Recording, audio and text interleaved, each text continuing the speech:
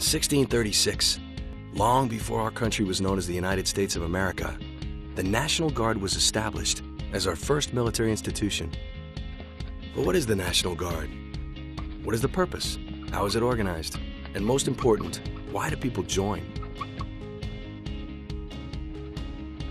The purpose of the National Guard is twofold.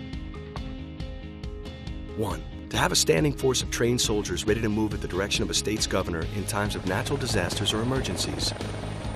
And two, to be mobilized federally in times of war and national need. That service could be close to home or overseas. The National Guard is distinct in that Guard members serve part-time and are known as citizen soldiers. At a minimum, they train one weekend a month and two weeks a year so that they are ready to respond whenever and wherever they are needed. In exchange for their service to their communities and country, National Guard soldiers receive compensation as well as numerous benefits. First, the National Guard will help pay for a four-year college education or vocational school. In many cases, the Guard covers up to 100% of those education costs. And in the National Guard, you can serve part-time, close to home, while you attend college full-time. So you protect your own community where your part-time service will have the best, most direct effect on the people who matter most to you.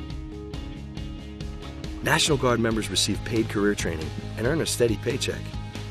There are also opportunities for advancement. By law, Guard pay increases the longer you serve.